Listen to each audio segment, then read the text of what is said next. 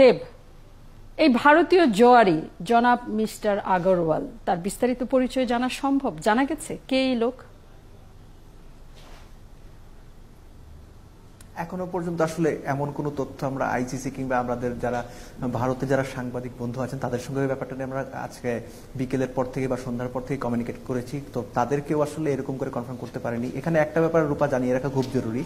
আইসিসির যে anti corruption ইউনিটটা আছে, সেটা সম্পূর্ণ ইন্ডিপেন্ডেন্ট একটা বডি বলতে পারেন বাংলাদেশের দুদকের মতো। ইন্ডিপেন্ডেন্ট একটা বডি যারা এই ধরনের ইনভেস্টিগেশন ক্রাইম ইনভেস্টিগেশন কিংবা আপনার স্পোর্টসের যে ফিক্সিংগুলো হয়, সেগুলো নিয়ে তারা কাজ করে থাকেন। এবং এরকম আমরা বিভিন্ন সময় শুনি যে তাদের এই ইউনিটের কিছু মেম্বার্স আছেন যারা প্লেয়ার্সদেরকে এই টোপগুলো দিয়ে থাকেন। আমি টোপ শব্দটাই ব্যবহার করব। তারা অ্যাকচুয়ালি আইসিসির এমপ্লয়ি এবং আইসিসির নির্দেশক্রমে টু বি স্পেসিফিক আকসুর নির্দেশক্রমে তারা বিভিন্ন প্লেয়ারকে ফোন কল করেন কিংবা অন্যান্য কোনো মাধ্যমে তাদের সঙ্গে সামাজিক যোগাযোগ মানে হোয়াটসঅ্যাপ হতে পারে মেসেঞ্জার হতে পারে হোয়াট এভার ইট ইস তারা কমিউনিকেট করার চেষ্টা করেন রিগার্ডিং ফিক্সিং ইস্যুস তো এরকম করে কোনো প্লেয়ার্স যদি সারা দিয়ে থাকেন, সেই ক্ষেত্রে সেই প্লেয়ার আপনার ধরা পড়ে যাবেন, সেটাই স্বাভাবিক। তো মিস্টার আগরওয়াল এরকম কোন নমিনেটেড পার্সন কিনা সেটা আমরা জানি না। তার মানে তার মানে এই প্রশ্নটি অযৌক্তিক না দেব যে আদৌ মিস্টার আগরওয়াল বলে কারোর অস্তিত্ব আছে কিনা কারণ যে সাত পাতার প্রতিবেদনটি আমার হাতে আছে যেখানে এই কনভারসেশনের কথা উল্লেখ করা হয়েছে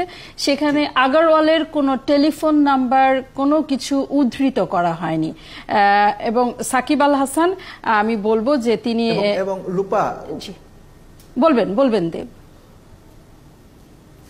একটা একটা ব্যাপার খুব ইম্পর্টেন্ট সেটা হচ্ছে একজন আগারওয়াল দের আর আমার মনে হয় যে সারা ওয়ার্ল্ডে খুঁজলে হয়তো দশ লাখ আগারওয়াল পাওয়া যেতে পারে। মিস্টার আগারওয়াল, তার নামের আগে পেছনে সামনে মাঝখানে কোনো কিছু কিন্তু স্পেসিফিক না। একজন পার্টিকুলার ইন্ডিভিজুয়াল আপনি যদি আইডেন্টিফাই করতে যান, সেই ক্ষেত্রে তার জন্য কিছু মেসেজ থাকা জরুরি, কিছু identification numbers or something else থাকা জরুরি। তার কোনো কিছুই ওইখানে অন্তত ওই প্রতিবেদনে মেনশন করা হয়নি। অর্থাৎ এই আগারওয়ালের আপনি যে প্রশ্নটা তুললেন দ্যাট ইজ অ্যাবসলুটলি কারেক্ট আমি বলব যে তার এক্সিস্টেন্স আদৌ আছে কিনা, থাকলেও কোথায়, কীভাবে তার মানে কি করছেন তিনি? তার বর্তমান অবস্থান কোথায়? এগুলো কেউ জানি না আমরা। এবং অ্যাটলিস্ট এখনও পর্যন্ত তার এক্সিস্টেন্স প্রমাণিত হয়নি। একজন এক্স ওয়াই জেড কোন একটা মিস্টার এক্স কেও আমরা আগারওয়াল সাজিয়ে বসিয়ে দিতে পারি। তো সেই ক্ষেত্রে একজন আগারওয়ালের ফোন কলে হোয়াটসঅ্যাপে টু বি এক্সাক্ট সাকিবের কনভারসেশন এবং সেই কনভারসেশনের পার্টিকুলার তিনটা জায়গা পার্টিকুলার তিনটা ইনসিডেন্ট ধরে ধরে বলা হয়েছে এবং এর মধ্যে একটা জায়গায় শুধুমাত্র স্পেসিফিক ছিল that was back in twenty six April two thousand two thousand eighteen last year that is about from one and half years from now সেই জায়গাটাতে সানরাইজার্স হায়দ্রাবাদ এবং কিংস ইলেভেন পাঞ্জাব এই ম্যাচটার আগে, এই জায়গাটাতে হচ্ছে স্পেসিফাই করা হয়েছে। এই ম্যাচটার আগে সাকিব আল হাসানকে মিস্টার আগরওয়াল প্রস্তাব দিয়েছিলেন। ম্যাচ বা স্পট যে কোনো একটা ফিক্সিং এর কোন ফিক্সিং আমরা জানি না, তবে যে কোনো ফিক্সিং হতে পারে। তো ওটাই আসলে স্পেসিফাইড তাছাড়া বাংলাদেশের টু থাউজেন্ড এইটিনে যে হোম সিরিজ হলো শ্রীলঙ্কা জিম্বাবু এবং বাংলাদেশকে ট্রাইনেশন সিরিজটা সেটারও কোনো একটা পার্টিকুলার ম্যাচে কিন্তু এখানে কিন্তু স্পেসিফাই করা নেই। সো আলটিমেটলি ওই একটা ব্যাপার ছাড়া আমরা একদম নিঃসন্দেহে মানতে বা বলতে একটু দ্বিধা আমার হয় যে সত্যিকার অর্থেই ওই জায়গাগুলোর অথেন্টিসিটি কতটুকু? এখন যেহেতু সাকিব আল হাসান তিনি দোষ স্বীকার করেছেন এবং দাবি আসছি দেব। কিন্তু ধরেন আমরা তো সাংবাদিক আমাদের এবং এবং হচ্ছে আমরা সাকিব আল হাসানের অন্ধভক্ত। আমরা হচ্ছে বাংলাদেশের ক্রিকেটের প্রতি আমাদের আবেগ, এটি একেবারেই কোনো বাধার বাইরে। ফলে অনেকগুলো প্রশ্ন সামনে আসে। যেমন ভারতীয় মিস্টার আগরওয়াল এবং ভারতে খেলার আগ মুহূর্তে এই রকম শাস্তির খড়ক নেমে এলো সাকিবের উপর। দুটি প্রশ্ন, সন্দেহ ডট একটি হচ্ছে আপনি যেটি বললেন যে অনেক সময় আকসু নিজেই হচ্ছে নৈতিকতার একটি পরীক্ষা নেওয়ার জন্য ফাঁদ তৈরি করে। এই ফাঁদ কি কেবল আমাদের মতো দেশের আমাদের সন্তান, আমাদের টাইগারদের জন্য?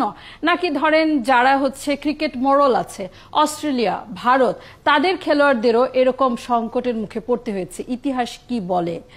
এবং আরেকটি বিষয়, সেটি হচ্ছে ভারত বা অস্ট্রেলিয়া, যারা এখন নানান সময়ে বাংলার ক্রিকেটারদের হাতে নাস্তানা বোধ হয় তারাও এরকম ষড়যন্ত্র, ফাঁদ, জাল বিছাতে পারে কিনা, নাকি সেটি আমার মতো সাংবাদিকের অতি কল্পনা অতি কল্পনা যেমন বলা ঠিক হবে না, ঠিক একইভাবে জাল বিছিয়েছে কিনা সেটা নিয়ে আসলে অ্যাসিউম করাটা খুব বেশি ঠিক হবে না। তবে আপনি যে প্রসঙ্গটা তুললেন সেটার ফার্স্ট পার্টটা আমি আগে আসছি, যে অন্যান্য দেশের ক্ষেত্রেও এটা হয়ে থাকে কিনা, আমার অনুমান সেটা হয়ে থাকে। এগুলোর অথেন্টিক কোনো সোর্স আমাদের কাছে নেই। অ্যাট দ্য সেম টাইম এগুলোর অফিসিয়াল কোনো ডিক্লারেশন নেই। বিভিন্ন সময়ে আমরা যখন সিরিজ কভার করতে, দেশে কভার করি, তখন বিদেশি সাংবাদিকরা আসেন কিংবা আমরা যখন বিদেশে যাই, তাদের সঙ্গে যখন ইন্টারাকশন সুযোগ হয়, এই তথ্যগুলো কিন্তু বেশিরভাগ সময়ই আমাদের বিভিন্ন জায়গায় যে সাংবাদিক বা কলিগস বন্ধু বা পরিচিতরা আছেন, তাদের মাধ্যমে কিন্তু আমরা জানতে পারি। আমরা বাংলাদেশের ব্যাপারগুলো তাদের সঙ্গে শেয়ার করি। তারা হয়তো কেউ হয়তো অস্ট্রেলিয়ান, কেউ হয়তো ইন্ডিয়ান, কেউ হয়তো আপনার ইংল্যান্ডের তারা আমাদের সঙ্গে শেয়ার করে। তখন ওই শেয়ারিং এর ব্যাপারগুলো থেকে, আলোচনা থেকে এই ব্যাপারগুলো আমরা জানতে পারি। কিন্তু স্পেসিফিক করে ওই ইন্ডিভিজুয়াল ক্রিকেটারের এগেনস্টে ওই রকম একটা ঘটনা ঘটেছে, এরকম ইনসিডেন্ট কিন্তু কেউ বলতে পারে না। সবাই জানে ঘটনাগুলো ঘটে, কবে কার এগেনস্টে ঘটে বা কার সঙ্গে ঘটে, এটা আসলে স্পেসিফাই করাটা ভেরি ডিফিকাল্ট আর অতিকল্পনার ব্যাপার যেটা আমি আগেই বললাম যে উড়িয়ে দেওয়ার সুযোগ আসলে নেই। অ্যাট দ্য সেম টাইম মানে বাংলাদেশ বা আপনি অন্যান্য ক্রিকেট প্লেয়িং যে কান্ট্রিগুলো আছে, সেই কান্ট্রিগুলোর তুলনায় বিভিন্ন সময়ে তো বাংলাদেশ বিভিন্ন ডিসিশনে অনাচারের শিকার যে হয়েছে সেটা তো আসলে আপনি ডিনাই করতে পারবেন না। তবে ষড়যন্ত্র তত্ত্বটা আসলে লিটারালি আমি খুঁজতে চাই না। খুঁজতে চাই না হচ্ছে এই কারণে যেহেতু সাকিব আল হাসান নিজে শাস্তিটা মেনে নিয়েছেন এবং তিনি সাকিব আল হাসান শাস্তি কেন মেনে নিয়েছেন? কারণ সাকিব আল হাসান আগর অল নামে একজনের সাথে যোগাযোগরত ছিলেন। এই জন্য তো সাকিব আল হাসান শাস্তিটা মেনে নিয়েছেন। সাকিব আল হাসান আহ, যদি এই ষড়যন্ত্রের পেছনের জায়গাটা, যেটা আমি আসলে ব্যক্তিগত মানে- ভাবে মনে করি, দেব, আপনার মতো সাংবাদিকের কাজ, যে ওই পর্যন্ত অনুসন্ধান করা কারণ সাকিব আল হাসান এটা না মেনে যদি তর্ক করত, সাকিব আল হাসান যদি নিজের আত্মপক্ষ, আমি জানি না যে এরকম আকসুর দাপট আমি দেখতে পাচ্ছি, বিনা প্রশ্নে সকল কিছু মেনে নেওয়ার একটি প্রবণতা আমি সকলের মধ্যে দেখতে পাচ্ছি, তার মানে এটি বেশ প্রভাবশালী একটি সংগঠন এটি বোঝা যাচ্ছে বেশ এবং তার বিরুদ্ধে কোনো কথা বলা যাবে না। কথা বললেই হচ্ছে এক বছরের শাস্তি, দুই বছর হয়ে যাবে, দুই বছরের শাস্তি সারা জীবনের হয়ে যেতে পারে। ফলে সাকিব মেনে নেওয়াই বুদ্ধিমানের কৌশল কিনা, আপনার কাছে দেব, আবার আসব। রেজানুল হক, এই যে শাস্তি, নিষেধাজ্ঞা সাকিব আল হাসানের খেলতে না পারা আপনার প্রতিক্রিয়া? এটা আমাদের জন্য অনেক বড় একটা ক্ষতি বাংলাদেশের ক্রিকেটের জন্য। আমাদের টিমের ক্যাপ্টেন সাকিব আল হাসান এবং নাম্বার ওয়ান অলরাউন্ডার ক্রিকেট বিশ্বের। এবং আমরা ধরেন সাকিব টিমে থাকলে একরকম টিমে না থাকলে আরেক রকম পার্থক্য অনেক, অনেকখানি পার্থক্য সাকিব গড়ে দেয়। লাস্ট ওয়ার্ল্ড কাপে আমরা দেখেছি যে আমাদের টিম আমরা দলগতভাবে ব্যর্থ হয়েছি, কিন্তু এককভাবে সাকিব সফল হয়েছেন। সেই দিক থেকে সাকিবকে যদি আমরা না পাই আগামী এক বছর, অথবা এটার যে একটা ইম্প্যাক্ট পড়বে ক্রিকেটের উপরে, সেটা সার্বিকভাবে আমাদের জন্য অনেক অনেক বড় ক্ষতি। কোনো সন্দেহ নাই। কিন্তু আপনি এতক্ষণ যে আলোচনাটা করলেন, আমরা খোঁজার চেষ্টা করলাম কে আগরওয়াল, কারা ফাঁদ পাতলো, ওই দিকটা আমরা দেখছি। আমরা কেন এটা দেখছি না? যে ফাঁদ যেই পাতুক আগরওয়াল নামে কেউ থাকুক বা না থাকুক, ঘটনা তো ঘটেছে। এবং সাকিব আসলে ঘটেনি। কারণ সাকিব ম্যাচ ফিক্সিং এর সাথে যে আহ্বান যে প্রলোভন তাতে সাড়া দেয়নি সেটি বলছি না। কমিউনিকেশনটা হয়েছিল কিনা? যোগাযোগটা হয়েছে। হয়েছিল তো? এবং- এবং এবং যোগাযোগ যদি হয়ে থাকে আপনারা বারবার দেখাচ্ছেন এখানে যে যোগাযোগ যদি হয় তাহলে কি করণীয়? একজন প্লেয়ারের সাথে কারও যদি যোগাযোগ হয় কোনো বুকির যদি যোগাযোগ হয় কোনো প্রস্তাব যদি কেউ পায় তাহলে প্লেয়ারের কি করণীয়? সেই যে এই যে তাহলে সাকিবের, সাকিব তো এর আগেও কাজটা করেছেন। তার আগেও তার কাছে এই ধরনের অফার আসছে এবং তিনি সেটি আকসুকে জানিয়েছেন বা বিসিবিকে জানিয়েছেন। এই যে তিনটা ক্ষেত্রে বলা হলো, এই তিনটা ক্ষেত্রে সেটা তিনি করেননি এবং এটি না করাটা বড় এক ধরনের একটা অপরাধ। এই আইনের মধ্যে একটা গুরুতর শব্দটা আছে, গুরুতর অপরাধ। সাকিব যে কাজটা করে নাই, করল না, এই যে সে ব্যর্থ এটা যে ভুলটা করল, ভুল না, এটাকে আইন অনুযায়ী অপরাধ। এই অপরাধের শাস্তি হিসাবে তাকে আজকে এই নিষেধাজ্ঞার কবলে পড়তে হয়েছে। আমরা কেন এটাকে ইগনোর করছি? এটা এই আলোচনাটাকে কেন আমরা উপেক্ষা করছি? সাকিব ভুল করেছে, সেই ভুল সাকিব স্বীকার করেছে, শাস্তি সে মেনে নিয়েছে, এটা আমাদেরও মেনে নেওয়া উচিত। এই আলোচনাটা এই জন্য জরুরি যে বিশ্ব রাজনীতিতে, বিশ্ব কূটনীতিতে যখন বাংলাদেশের মতো কোনো দেশে একজন রাজনীতিবিদ বেড়ে ওঠে যে ভবিষ্যতে প্রভাবশালী ক্ষমতার নিয়ামক হতে পারে তার বিরুদ্ধে যেরকম নানান ষড়যন্ত্র হয় ইতিহাস বলে যখন এই রকম ক্রিকেটের মহানায়কের উত্থান হয় একটা দেশ যখন মাটির নিচ থেকে ক্রিকেট পরাশক্তি হিসেবে উঠতে যায় তখন তার বিরুদ্ধে নানান রকম ষড়যন্ত্র চক্রান্ত হতে পারে। ফলে সেই ষড়যন্ত্র চক্রান্তগুলো আহ, আবিষ্কার করা খুঁজে বের করা সেই ষড়যন্ত্রে আমি কেন পা দিচ্ছি? আমি কি সতর্ক থাকব না? সাকিব তো একটা ম্যাচিউর প্লেয়ার সাকিব একজন সিনিয়র ক্রিকেটার সাকিব একজন ইন্টারন্যাশনাল ক্রিকেটার তার এই সমস্ত নিয়মকানুন জানার কথা। আমি জেনে বুঝে কেন সেই ফাঁদে পা দিব নিশ্চয়ই। সাকিব ফাঁদে পা দিয়েছেন সাকিব তার শাস্তি পেয়েছেন। আবার বাংলাদেশেই তো না যে প্রধানমন্ত্রী বারবার বলেন যে পদ্মা সেতুর দুর্নীতির তালিকাভুক্ত ওয়ার্ল্ড ব্যাংকের অভিযোগ কানাডার আদালতে মামলা হলো এবং বাংলাদেশ সরকার দারুণভাবে লড়ে প্রমাণ করল যে ওয়ার্ল্ড ব্যাংকের মতো সংস্থাও ভুল করতে পারে। কানাডার আদালতেও ফয়সালা মিলতে পারে। মাসুদ কামাল। দেখেন আমি কিন্তু এই এক জায়গাটাতে আমি বলি আপনাকে যে রাজা ভাই যে কথাটা বললেন। এমন সঙ্গে কিন্তু একমত। যে উনি কিন্তু সাকিবের কিন্তু ইতিহাস আছে এই ধরনের। যেমন দুই হাজার দশ সালে খুব সম্ভবত আয়ারল্যান্ডের খেলার সময় সম্ভবত একটা ওনার কাছে এরকম প্রস্তাব এসেছিল, উনি সেটা জানিয়েছিলেন। এবার জানাননি। এবার তিনবার তাও উনি জানাননি। না যে উনি অপরাধ করেছেন, অপরাধের শাস্তি উনি পেয়েছেন, এই পর্যন্ত ঠিক আছে। আমি এখানে অন্য একটা জিনিস দেখতেছি। সেই জিনিসটা আমি একটু বলতে চাই। দেখেন এর আগেও কিন্তু এটা দেব চৌধুরী উনি আসছেন উনিও আমার এই প্রশ্নের জবাবটা দিতে পারবেন। সেই জিনিসটা হলো যে এই ধরনের শাস্তির ইতিহাস আমরা অনেক দেখেছি। সেখানে একটা আপিল করা হয়। আমার কথা হলো যে সাকিবকে হঠাৎ করে আজকেই সাজাটা ঘোষণা করল উনি এটা আজকেই জানতে পারলেন তা বোধ হয় নয়। না গত আগস্ট মাসে এবং গত আচ্ছা, জানুয়ারি মাসে দুই দফায় সাকিবকে জিজ্ঞাসাবাদ করা হয়েছে। এবং উনিও নিশ্চয়ই বোর্ডকে জানিয়েছেন। জানিয়েছেন। আচ্ছা বোর্ডের ভূমিকাটা কি? বোর্ড বলেছে আমরা কিছু জানতাম না। থেকে বোর্ড জানবে না কীভাবে? এটা হয়। সাকিব বাংলাদেশের একজন প্লেয়ারকে আপনার এই আইসিসি ডেকে নিয়ে গেল কথা বলল বোর্ড জানবেই না। অথবা জানবে না কেন? জানাটা তো উচিত ছিল। অথবা সাকিবও নিজ দায়িত্বে বোর্ডকে ইনফর্ম করতে পারতেন। আচ্ছা তারপরে কথা হলো যে বোর্ড এখানে কি ভূমিকা রেখেছে? অনেক সময় কিন্তু অনেক সময় হয় ঠিক আছে ভুল হয়েছে শাস্তি দিয়েছে সাকিব শাস্তি মেনে নিয়েছে এই পর্যন্ত ঠিক আছে।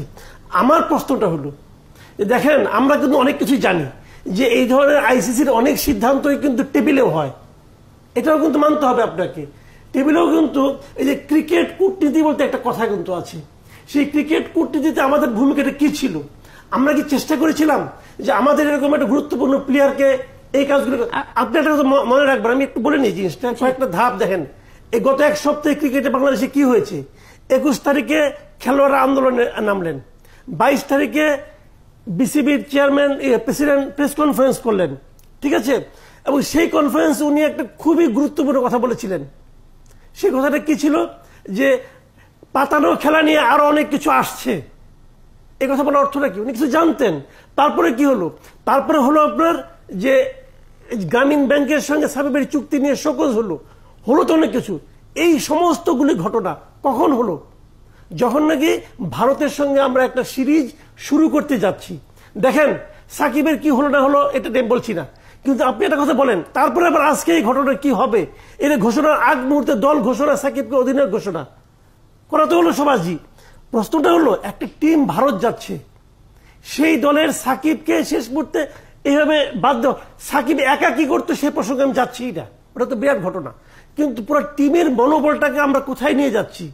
তো এখন এই সবগুলি কি কোনো সবগুলি ঘটনা কি কাকতালীয় হতে পারে আবার নাও তো হতে পারে।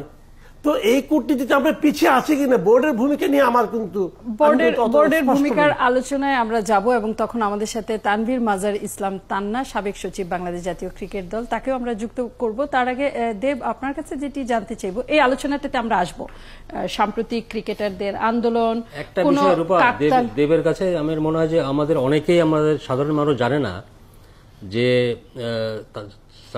দেবের দেব এটা বলতে পারবেন কিনা যে সাকিবের কাছে ধরেন কথার কথা প্রস্তাব গিয়েছে তো তাই না? এবং সাকিব সেটি আকসুকে বা বিসিবিকে জানায় নাই। তাহলে এটা কি করে ফাইন্ড আউট হলো যে সাকিবের সঙ্গে সাম মিস্টার আগরওয়ালের যোগাযোগ হয়েছিল? এটা কি করে বের কি করে বের হয়ে এলো? সে প্রসেসটা সম্পর্কে অনেকে আমাকে জিজ্ঞেস করছেন যে সাকিব তো জানায় না তাহলে আইসিসি কি করে জানতে পারল? আমরা জানি যে সাকিব আহ, দেব চৌধুরী আরেকটু বিস্তারিত বলতে পারবেন যে ক্রিকেটারদের telephone call list call check করা হয় মনিটর করা হয় এবং সেই জায়গা থেকে এই তথ্যগুলো বেরিয়ে এসেছে এবং একটা হোয়াটসঅ্যাপ কনভারসেশনও তদন্ত প্রতিবেদনে আছে। দেব এই জায়গাটি যেহেতু রেজানুল হক প্রশ্ন তুলেছেন আমরা শেষ করে যাই। বলবেন আমাদের। আমি এই প্রসঙ্গটাতেই আসছিলাম। আমি রাজাভের কথার সঙ্গে উনি যে প্রসঙ্গটা তুলে আলোচনাটা শুরু করেছিলেন, আমি সম্পূর্ণ একমত, এখানে তোমার করার কোনো সুযোগ নেই।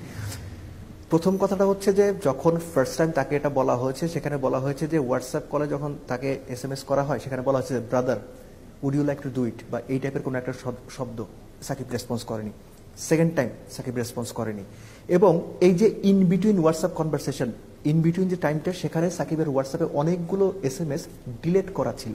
সে ডিলেট করা এস এম এস কি লেখা ছিল, এটা আইসিসি কনফার্ম করতে পারেনি, সাকিব হাসান, সাকিব আল হাসান বলেননি এবং তাকে প্রশ্ন করার সুযোগ আমাদের হয়নি। এটা আমি আগেও বলেছি, যদি ভবিষ্যতে সুযোগ হয় ডেফিনেটলি সাকিবকে আমরা আস করব যে, ওই ডিলেট করা এস এম এস এ কি ছিল বা এস এম এসগুলো ডিলেট করার প্রয়োজন কেন হলো ইন বিটুইন এই কনভারসেশনগুলোর মতো। এবং থার্ড এবং ফাইনালি যখন এই ঘটনাটা ঘটে যেটা স্পেসিফাই করা হয়েছে twenty six April two thousand eighteen in between the match before the match between Kings Eleven Punjab and Sunrisers Hyderabad সেখানে সাকিব মেনশন করেছেন, সাকিব যে I would like to meet you Shakib তার সঙ্গে কেন দেখা করতে চাইলেন? এটা আইসিসির মানে আপনার যে মূল কি বল যে ভার্ডিকটা যেটাতে আছে, সেখানে খুব স্পষ্টভাবে উল্লেখ করা আছে। সো এই ব্যাপারগুলো নিয়ে আলোচনার অবকাশ সবসময় থাকে, কিন্তু যে পর্যন্ত কেউ এটা স্বীকার না করবে বা না বলবে, সেই পর্যন্ত আসলে আমাদের জায়গা থেকে ইনভেস্টিগেশন করে বের করাটা খুব কঠিন। আর এই ইনভেস্টিগেশনটা আপনার আইসিসি বা আকসু যারা আছেন, তারা কোন প্রসিডিউরে করে, সেটা সম্পর্কে আসলে আমাদের কাউরই খুব বেশি ধারণা নেই। কারণটা হচ্ছে, আমি যেটা শুরুতেই বলেছিলাম যে এটা খুবই স্পেসিফিক একটা কি বলে যে জায়গা। তারা এটা আইসিসির সংস্থা হলেও আইসিসির সাথে আপনার সম্পূর্ণ তারা ইন্ডিপেন্ডেন্ট একই সাথে এটা জানিয়ে রাখা জরুরি যে একই ধরনের ইস্যুতে মুশফিকুর রহিমের সঙ্গে কিন্তু তাদের কথা হয়েছে। Mushfiqur Rahim was found clean এবং এই ব্যাপারটা নিয়ে যে কারণে আগানো হয়নি। এবং এই ব্যাপারটা হচ্ছে যে সাকিব যে তার সঙ্গে ওখানে মেনশন করলেন যে I would like to meet you first তো কেন তিনি দেখা করতে চেয়েছিলেন? তিনি কি দেখা করে আ- আ- আমি আমি একটু একটু একটু একটু দেব। আমার কাছে যে প্রতিবেদনটি আছে মিট ইউ ফার্স্ট নো সাকিবের সাইট থেকে মোবাইল থেকে যে টেক্সটটি পাঠানো হয়েছে হোয়াটসঅ্যাপে সেখানে কেবলমাত্র ফার্স্ট শব্দটি লেখা আছে। আমার বারবার, আমি জানি না দেব দেব পদ্মা সেতু নির্মাণের যে দুর্নীতি সংক্রান্ত মামলা কানাডার আদালতে চলেছিল, আমি সেই মামলার কাগজগুলো দেখতে পাচ্ছি যখন আমি আপনার কথা শুনছি। কানাডার আদালতেও একইভাবে বলা হয়েছিল, দুর্নীতি নিয়ে কেউ ভেবেছে, দুর্নীতি করবে সেই ভাবনার বিচার হবে। এবং সেই ভাবনাটাও যে হয়নি, পরে সেটি আদালতে প্রমাণ হয়েছে।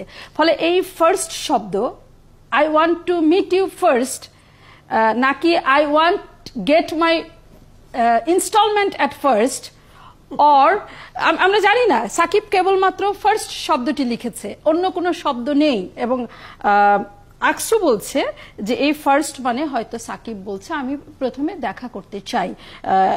ফলে এটা নানান রকম ব্যাখ্যা হতে পারে এবং নিশ্চয়ই সাকিব আল হাসানের কাছ থেকে যতক্ষণ না আমরা এটা যতদিন না জানতে পারব ততদিন এই প্রশ্ন থাকবে। তবে আমি আবারও বলব সাংবাদিক হিসেবে আপনার মতো সাংবাদিকের কাজই হচ্ছে শেষ পর্যন্ত এটি টেনে নিয়ে যাওয়া এবং আমি এই জায়গায় বিসিবির আচরণে হতাশ। বাংলাদেশের সামনে যেখানে শেখ হাসিনার মতো নেতৃত্ব আছে যিনি ওয়ার্ল্ড ব্যাংককে চ্যালেঞ্জ করলেন পদ্মা সেতু ইস্যুতে যিনি কানাডার আদালতকে চ্যালেঞ্জ করে বাংলাদেশকে নিরপরাধ প্রমাণ করতে পারলেন সেইখানে বিসিবি যার আজকে সাকিবের পাশে দাঁড়ানো একটি হচ্ছে হতাশ সন্তানের মাথায় বাবার হাত আরেকটা হচ্ছে লড়াকুর সংস্থা। সেই জায়গায় বিসিবি দাঁড়াতে পারত কিনা? এই আলোচনায় আমার মনে হয় তানভীর মাজার ইসলাম আহ, কে আমি যুক্ত করতে চাই। বিসিবির ভূমিকা প্রসঙ্গে বলবেন। বিসিবি সম্বন্ধে কি বলব? এটা তো যেটা হয়েছে, সাকিব হয়েছে, সাকিবের এই খবরটা কে দিয়েছে এটাই ফার্স্ট আমি জানতে চাই। এই খবরটা গেছে কেমনি? আপনারা বলেন যে ওর ফোন হোয়াটসঅ্যাপ দিয়েছেন but it has must have gone through somebody ICC international cricket যারা আছে, তারা তো তাদের খোঁজ খবর রাখে না। Somebody from Bangladesh has send it definitely এখন আমার কথা হলো যে, এই লিগটা যখন হয়েছে, সাকিব শুড এতদিন হয়ে গেছে এই শুড সেট সরি ভুলে হয়ে গেছে আমার কাছে এরকম অ্যাপ্রোচ করেছে। যখন সে করে নাই, তখন থেকে BCB should have start work started working কেন ল ইজ ভেরি ক্লিয়ার লতে বলে এরকম যদি সিচুয়েশন হয় হিল বি সাসপেন্ডেড ছয় মাস বা up to five years so BCB তখন থেকেই ওয়ার্ক করা ছিল because is our most important player বাংলাদেশের ভিতরে এদিক ওদিক নাই। তো তখন থেকে ওয়ার্ক করলে মেবি এই সিচুয়েশনটা এক বছর, দুই বছর না হয়ে এক, ছয় মাসে হতে পারতো।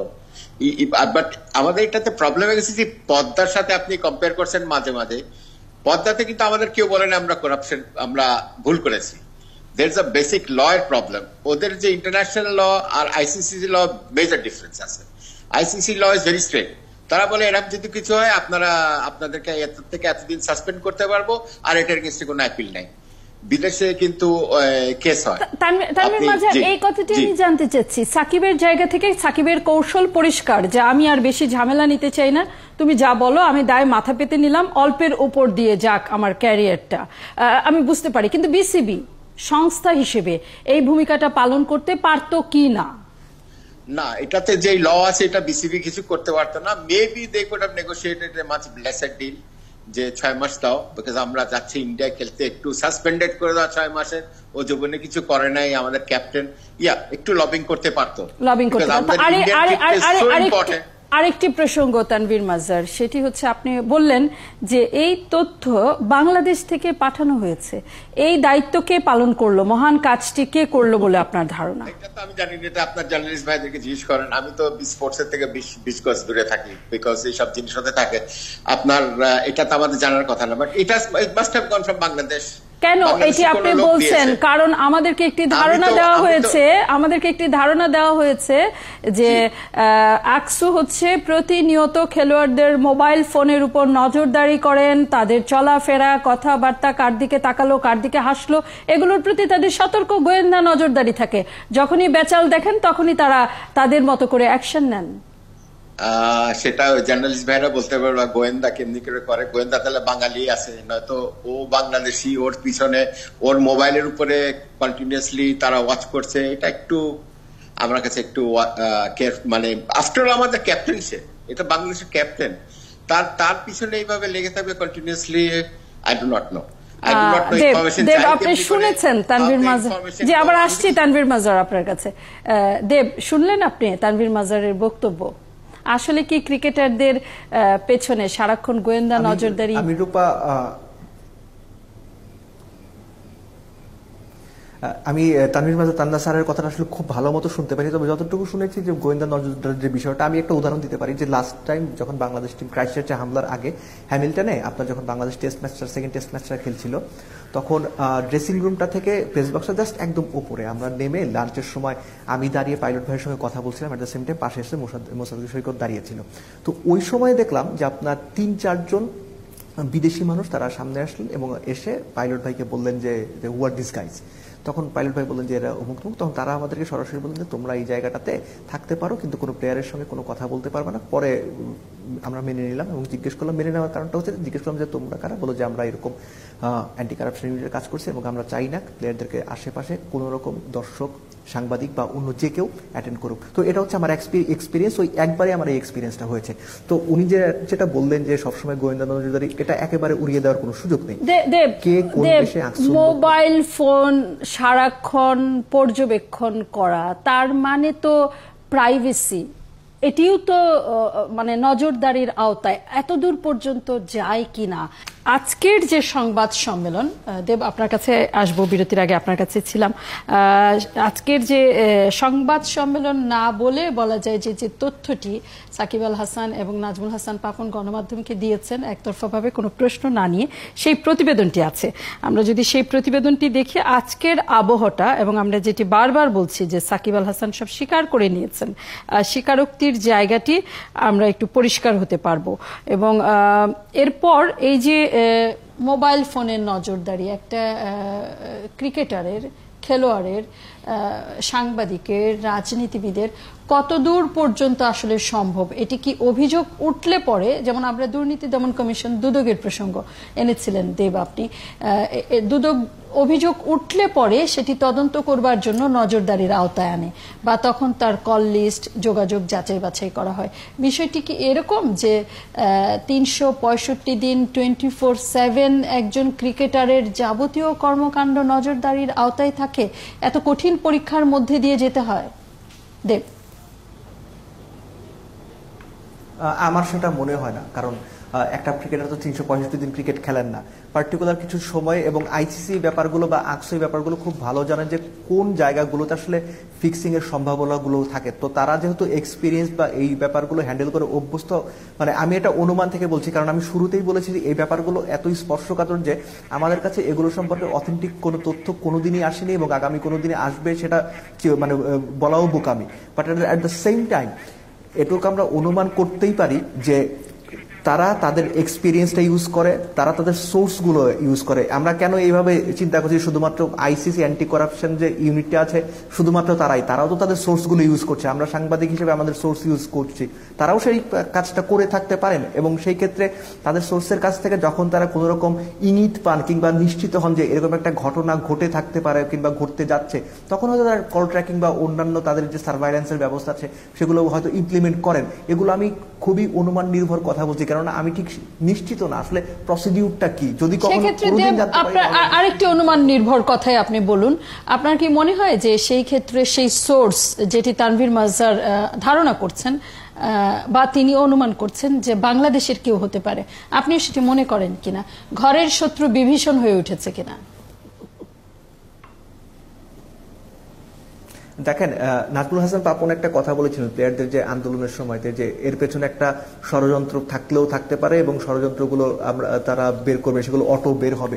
তো তার কথার প্রতি সম্মান রেখেই বলতে চাই, তিনি যেহেতু বলেছেন, তাহলে হয়তো বা কিছু থাকলেও থাকতে পারে এবং সেই কথার সাথে আপনার কথার তো যথেষ্ট মিল পাওয়া যাচ্ছে। ঘরের শত্রু বিভীষণ তাহলে হতেও পারে। যেহেতু আমরা অনুমান নির্ভর কথাই বলছি, মনে মনে মন কোলা খাওয়ার তো আসলে কোনো লিমিটেশন নাই। আপনি চাইলে যে কোনো কিছু আসলে চিন্তা করতে পারেন। সেটা বিদেশি কোনো মানুষ হতে পারে, কোনো বাংলাদেশের মানুষ হতে পারে এনি ওয়ান ক্যান বি যেহেতু আমরা অনুমানই করছি। সো কোনো সম্ভাবনাই উড়িয়ে দেওয়া যায় না। কিন্তু ব্যাপারটা হচ্ছে কি ব্ল্যাক অ্যান্ড হোয়াইট এই হিসেবটা না করে আমার মনে হয় ইন বিটুইন যে একটা গ্রে লাইনও থাকতে পারে এই ব্যাপারটা বোধহয় বিবেচনায় নেওয়া উচিত।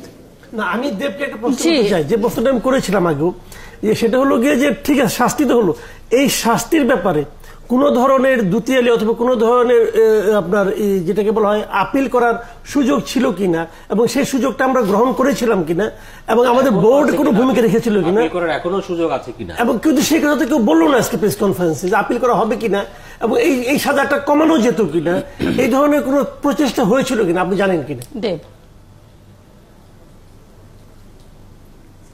ওই আপনার যে ভার্ডিকটা দেওয়া আছে, সেই ভার্ডিক্টের একটা জায়গাতে খুব একদম নিচের দিকে খুব স্পষ্ট করে লেখা আছে যে এই ভার্ডিক্টের এগেনস্টে মিস্টার আল হাসান এবং আইসিসি কেউই আপিল করতে পারবে না। এখানে কিন্তু শুধুমাত্র ফার্স্ট পার্ট সাকিব আল হাসান, কিন্তু ফার্স্ট পার্ট আইসিসি না। এই দুইটা যে বডি মানে যাদের মধ্যে ঘটনাটা, মূল পক্ষ তো দুইটা, সাকিব আল হাসান এবং আইসিসি।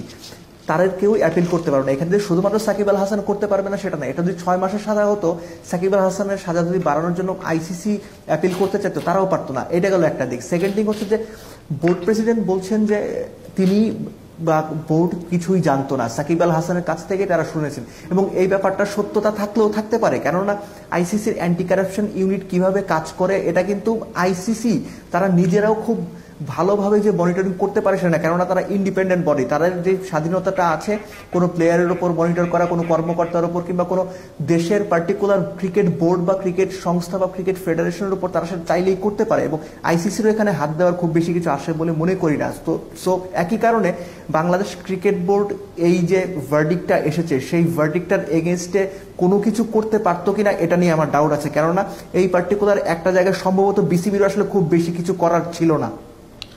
দেব থাকবেন আমাদের সাথে। তানভীর মাজার আপনার কাছেও আসব, কিন্তু আলোচনার ফাঁকে আমি যুক্ত করছি মেজর অবসরপ্রাপ্ত ইমরোজ আহমেদ সাবেক ভাইস চেয়ারম্যান এবং সিকিউরিটি কমিটি বিসিবির। তিনি আমাদের এই আলোচনা শুনে টেলিফোনে যুক্ত হয়ে তার মতামত দেওয়ার আগ্রহ প্রকাশ করেছেন। ইমরোজ আহমেদ, ধন্যবাদ আপনাকে। আমি ধারণা করি যে আকসুর নজরদারির প্রক্রিয়া এবং হচ্ছে আজকের শাস্তি কি প্রক্রিয়ায় হয়েছে, হয়তো সেই বিষয়ে কিছু যুক্ত করবেন আপনি।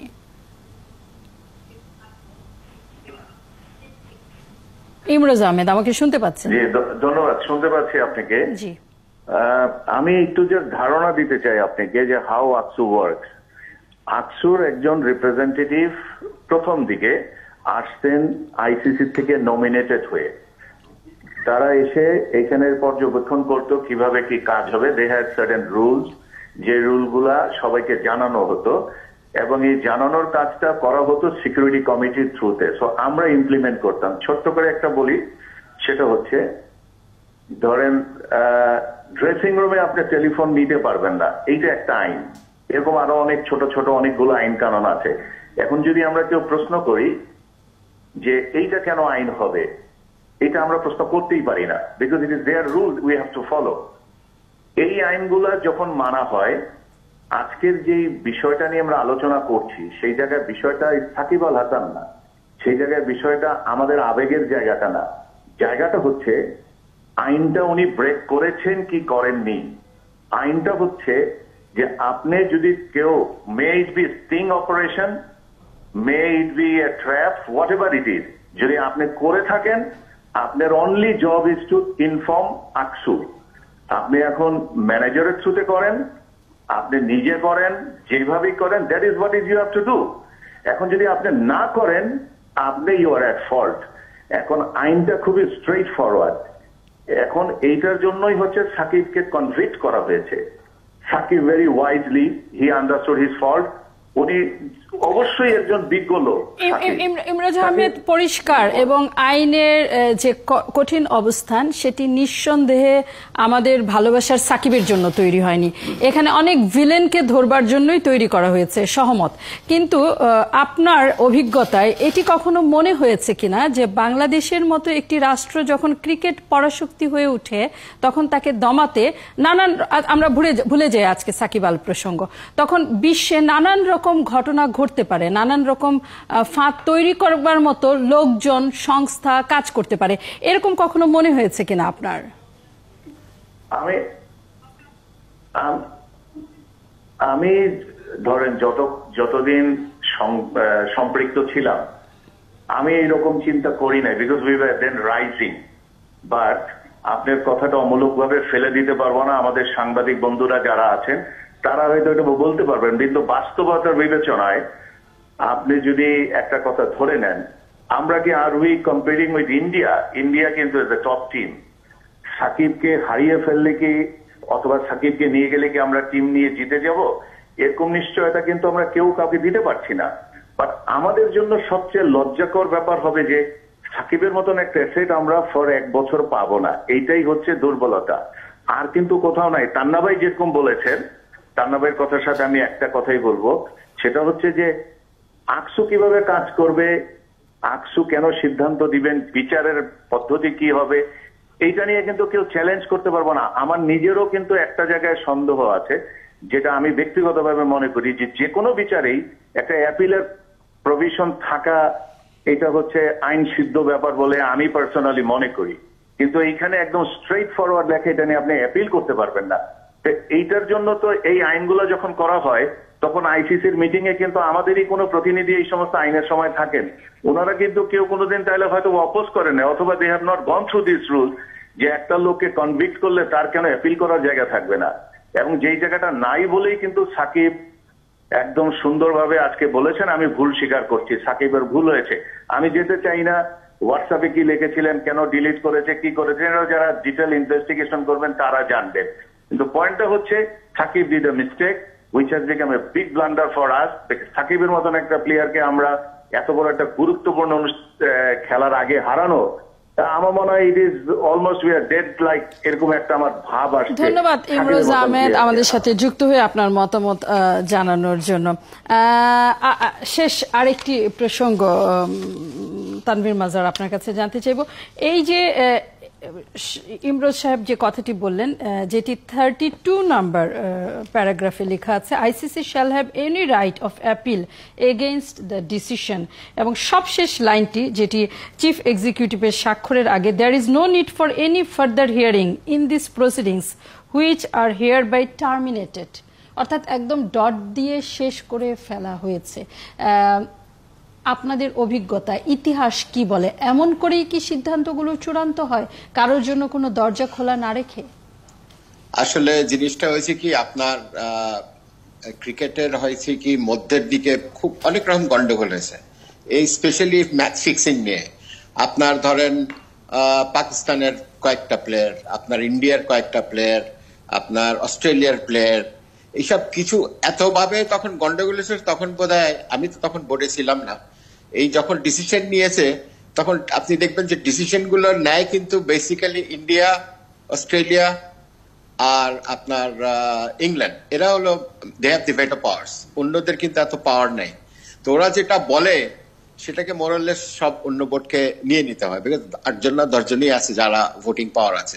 সো ওরা যদি করে থাকে এটা, তখন অ্যাকচুয়ালি অ্যাকচুয়ালি ওরা একটা সিরিয়াস মুভমেন্ট নিয়েছিল বিকজ ইন্ডিয়ার অনেক প্লেয়ার পাকিস্তানের অনেক প্লেয়ার অস্ট্রেলিয়ার অনেক player they all got corrupted এই আপনার ম্যাচ ফিক্সিং এ। অনেক ম্যাচ ফিক্সিং এসে তখনকার দিনে। সো সেই জন্য তারা এই ডিসিশনটা নিয়েছিল। বাট এটা তো একটা মিস্টেক যেটা সাকিব একটা is a very clumsy mistake ও তো জানে। বলল না কেন I am still surprised but শুনেন, আপনারা কিন্তু ডিসকাশনটা যেভাবে সাকিবের দিকে নিয়ে যাচ্ছেন বা এটা, ওটা বাদ দিয়ে you should now think as a sportsman I think যে আমাদের টিম যেন যে ভালো করে ইন্ডিয়ার এগেস্টে আমাদের নতুন প্লেয়ার আসবে সাকিবরা তো সারা জীবন থাকবে না সাকিব মুশফিক মোহাম্মদুল্লাহ এইসব চার পাঁচটা প্লেয়াররা they will retire in time we need new players okay this is a challenge let us face this challenge Shakib তো হ্যাজ অ্যাকসেপ্টেড দিস আমরা অ্যাকসেপ্ট করতে হবে। এখানে আপনি বিবেকের কথা বলে তো লাভ হবে না। আর এটাকে যদি তারা আমাদের বোর্ড যদি there is some other way of doing things with that ICC because next year world cup আছে। So that is a different movement altogether এটার ভিতরে লয়ের ভিতরে নাই। বাট ইউ সি একটা তো ফ্রেন্ডশিপ একটা তো কিছু থাকে। অনেক সময় দেখবেন আপনি একে দশ বছর সাসপেনশন দিছে তিন বছর পরে ছেড়ে দেয় because you know he suffered এই বিষয়টিতে দেব চৌধুরী আপনার বক্তব্য নিয়ে এই আলোচনা শেষ করব। তানভীর মাজার আপনাকে অনেক ধন্যবাদ আমাদের সাথে যুক্ত হওয়ার জন্য। দেব এই যে এক বছর আমরা যদি ধরে নেই শাস্তির মেয়াদটা, এই এক বছর থেকে যেহেতু অ্যাপিল করার আর সুযোগ নেই, এই এক বছর তো এক বছরের লক হলো। অর্থাৎ আপনার প্রতিবেদনে যেটি ছিল যে দুই হাজার বিশের পঁচিশে অক্টোবর, আবার হয়তো আমরা সাকিবকে খেলতে দেখব। তার মানে তার আগ পর্যন্ত কোনো সুযোগ নেই এই শাস্তির মেয়াদ কমার বা এই সময়টা কমিয়ে আনার, তাই তো? জি অ্যাবসলুটলি ধন্যবাদ। আমাদের সাথে যুক্ত হবার জন্য দেব চৌধুরী।